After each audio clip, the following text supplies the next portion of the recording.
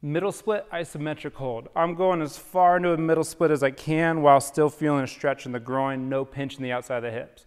If you're getting pinchy, you can drive back, but you don't want the stretch to go to the hamstrings. Our goal is to keep the tailbone under, find a stretch in the groin.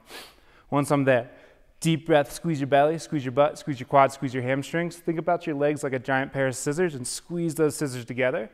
And you're actively trying to find more and more stuff through the groin to squeeze tighter and tighter the entire time.